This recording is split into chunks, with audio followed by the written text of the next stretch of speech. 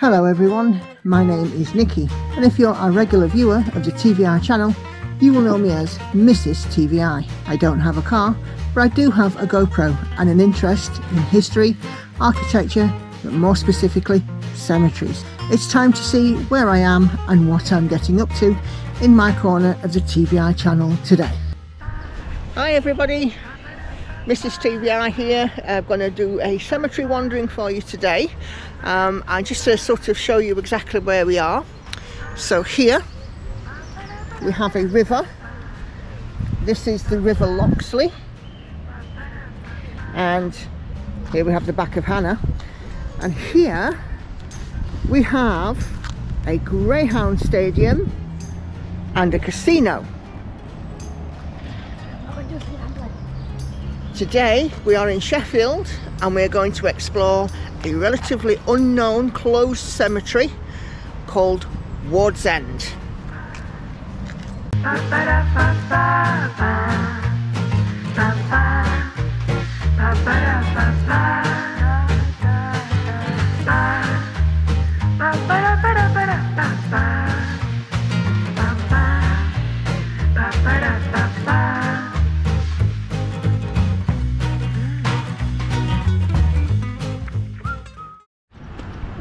so to get to Wardsend, we have to walk down this street, Livesey Street or Livesey Street, and this is at the back of Owlerton Greyhound Stadium. And this cemetery's got a bit of a storied history. It was opened in the mid 1800s and closed to new burials in 1968. It's been a place where there was a riot. Um, the sexton and the vicar of the parish of St Philip's who fed into the cemetery were prosecuted at York Assizes for reusing burials or burial sites.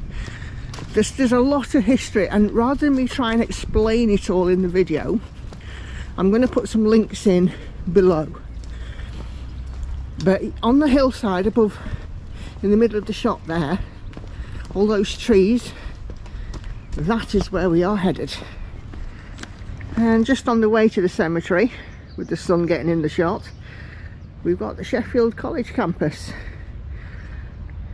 So Livesey Street is quite a busy place. Greyhound racing gambling and you could learn something while you're here too. So what I forgot to mention about Owlerton and this mural actually pictures it quite well. They also have Speedway here and other sports as well. And it's also a dine-in and uh, a place where you can sort of go and socialise as well. So it's not just about the greyhound racing. There's lots of other stuff too. So it's currently about 8 o'clock in the morning. Um, Andy's dropped us here and then gone off to do a little filming of his own, but he'll be back. I have to say, for a busy city, this part of it is so, so quiet. You can literally hear a pin drop. It's that quiet. And, uh, you know, it's kind of really the perfect kind of resting place for the sort of 30,000 people that are interred here. So, almost there. Catch you in a moment. So we've arrived. Cemetery's at the back of me there. This is the River Don. And as you can see, this is where we're heading. There's a nice little area there to sit by the river. We're going to go and have a look at that sign in a moment as well. Little car park here. But yeah, let's go and investigate this place.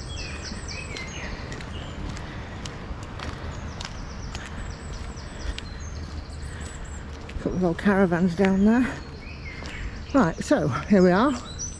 Wardsend Cemetery Heritage Park with nearly 30,000 burials including soldiers from the nearby Hillsborough Barracks and victims of the Great Sheffield Flood of 1864. Wardsend is an important part of Sheffield's social history, a haven for wildlife and a place for art and performance and it's also a place of remembrance with burials from those who served and died in the two great, well, great wars Now, there is a war memorial here. There is also some, I think, footings are a cemetery chapel. Um, but let's uh, let's have a walk around. Might not say an awful lot when we're in the cemetery. I might have to just pop on some voiceover. But you'll see just how overgrown this is, and it's only thanks to the work of uh, the Friends of Wardsend Cemetery that some of this uh, vegetation has actually been cut back and allowed the cemetery to be accessible to all. Um, just quickly before we, we go in, just notice this natty little thing. Got a face carved out there of the rock. How fab is that? Let's head off up the footpath. So as I'm sure you can hear the sounds of nature and the sun peeking through and just in the middle you can see the footings as to where used to be a cemetery chapel. We do have uh, a war memorial and obelisk in here as well but when I sweep the camera around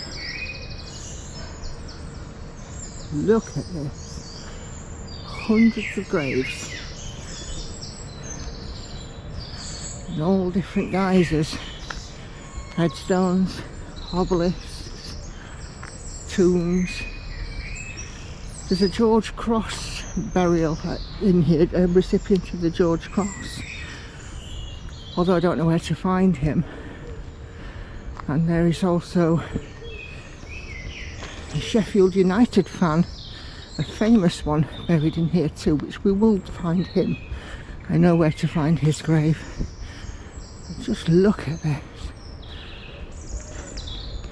you can certainly tell why and how this cemetery has become a wildlife haven.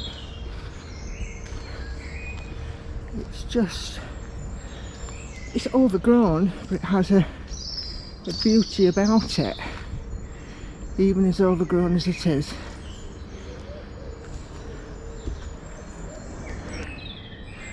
So Hannah tells me, as I've been looking around, that she's seen some squirrels as well, which is unsurprising. But this is quite a steep hill going to the top of the first section of this cemetery.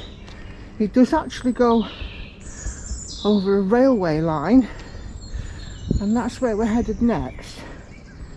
Oh, excuse me, sounding out of breath. It's, it's quite steep that. So I'm on a bridge here. Ooh. Just looking over a railway which is down there. You can just see the tracks. And the railway splits the cemetery in two. So we just walked through the bottom section and now we're going to have a look at the not quite as dense top section. So I'm going to hand the camera to Hannah and she's going to film and let's see what she comes up with. We'll turn her into a mini Mrs. TVI or a Miss TVI. So up here we've got quite a few headstones and there's lots of leaning ones and Hannah says she doesn't like that which I understand and then we've got like trees that have grown out of or near very near to graves this one here as you can see it looks very sooted it looks fire damage. It looks as though this top part of the cemetery has suffered with some fires. I don't know when that was, but it looks fairly recent. So this is probably one of the most famous graves in Wardsend and it's for Tom Wharton. So if Hannah, if you can come and have a look at the stone. There we go.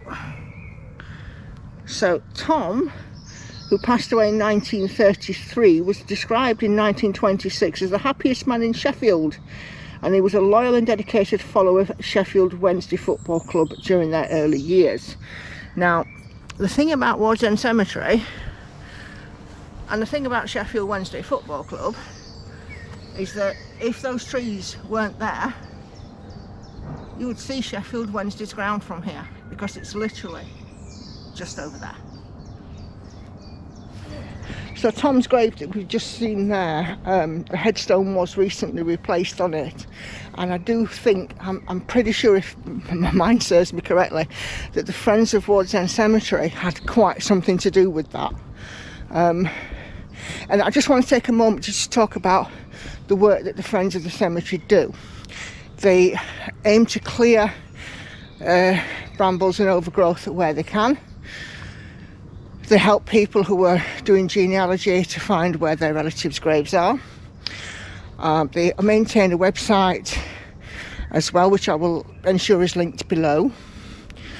Um, they offer walks and community events and days here where you can come and have a look at the wildlife and the plant life and all the rest of it. And they're really kind of keeping this cemetery alive in the public conscience which considering it's not taken a burial in for more than 60 years now, I think is a really, really good thing.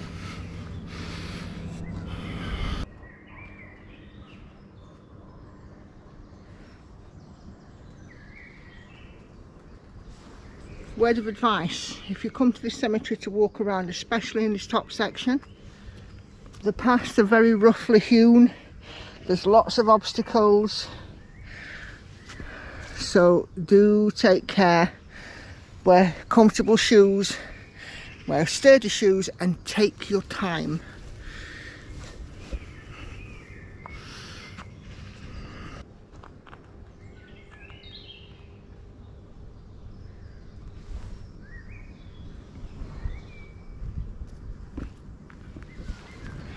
So my second in command camera woman here is giving you another shot of the railway track.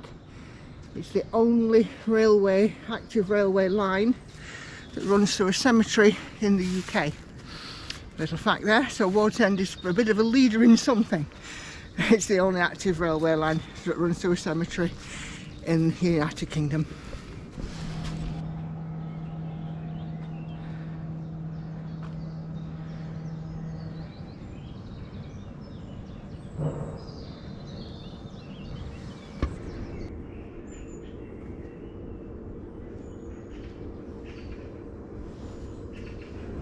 So the first burial here at Wardsend, it was a little girl called Anne-Marie Marsden. So the sun's getting in my face. Uh, she was aged just two when she passed away. Let me grab that, Hannah. um, from what I understand, we're back in the lower section of the cemetery. She's buried in the lower section, but finding exactly where will be quite difficult because Hannah's going to pan round and show you just how steep and treacherous these paths are.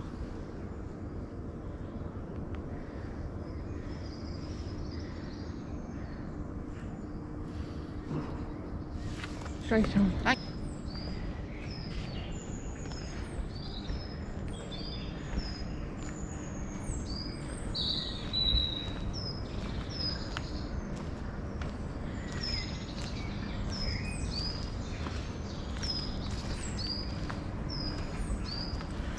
Now, I don't know much about flowers, about plants. Keep on the stones, Hannah, keep on the cemetery. Um, I don't know much about any of that, but I've seen oak trees, elm trees, sycamores, I've seen ivy, I've seen brackens, brambles, bluebells. Uh, slow down, slow down, I can't keep up with you. My she's running off with this camera. Um, and all kinds of other plants as well. And I do know that this cemetery, according to Wikipedia, also has an issue with Japanese knotweed.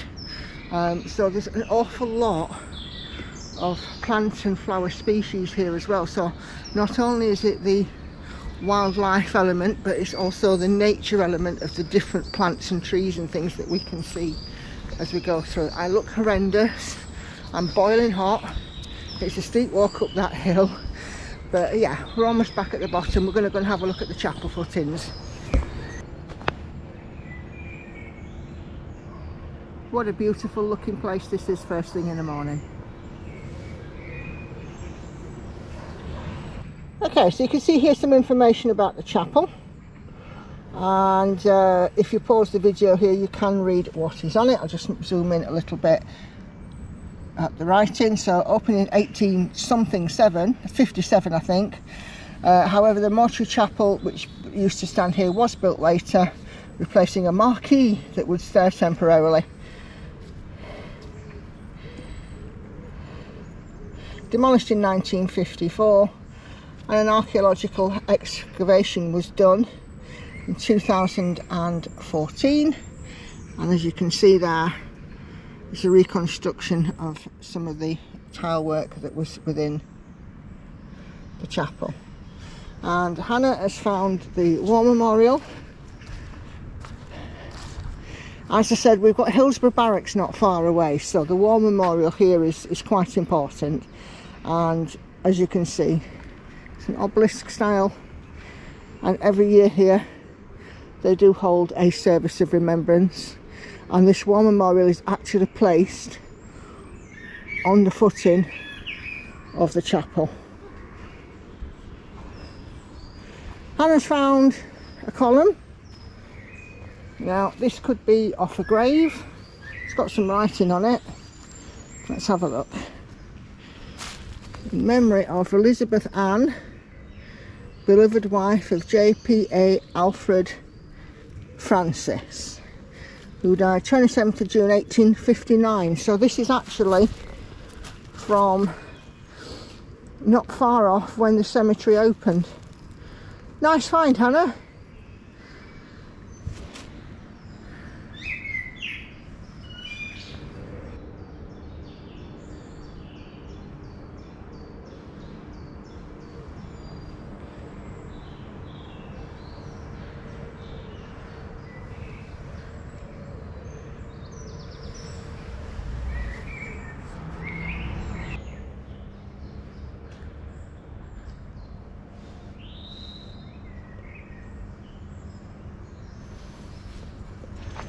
So I'm at the very bottom section now at the part that's closest to the river and this bit here is incredibly overgrown. You literally can't see anything um, amongst the ivy and the brambles and so on.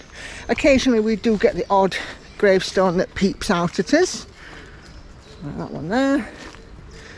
But this is pretty much, you know, the the, the biggest, most overgrown part uh, of Wardsend.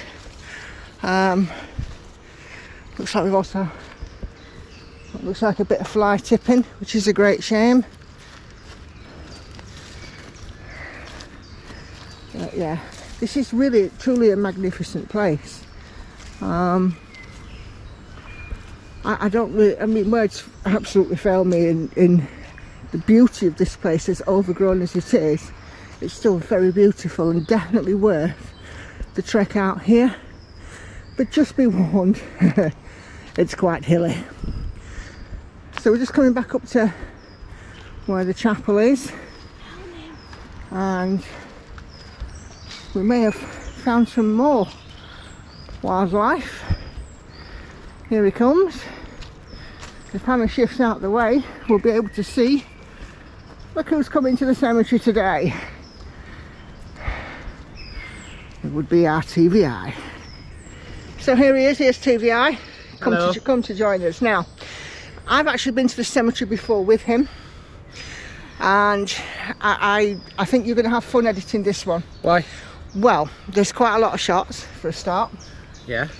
And uh, it's it really truly, you'll see on the, the images when we do edit this how beautiful a place this is, how just how fabulous it is. Hannah's been my camera woman as well. Okay. So be prepared for the wobbles but yeah okay. So we're just coming out of the the chapel bit here. You can see sun has come out. It's a lovely Saturday morning in May. But I think what we'll do is we'll bring this one to a close.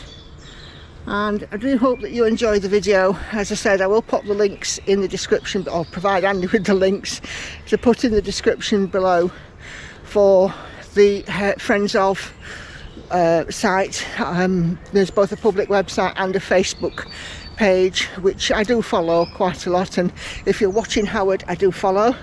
And uh, yeah so we'll leave it for there and we'll go on to our next one. So until then we will see you on the next video. Bye bye for now